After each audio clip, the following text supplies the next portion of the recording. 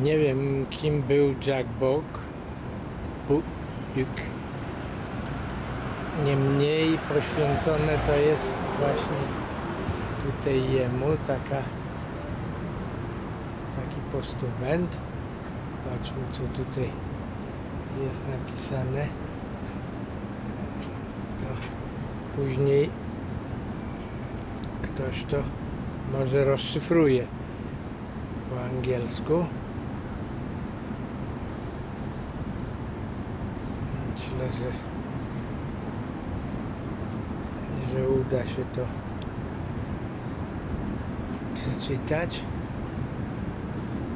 Myślę, że to był jakiś e, sławny fotoreporter sportowy, bo, bo tak, tak to wygląda tutaj z tego co widzę z tych zdjęć. No to by było na tyle o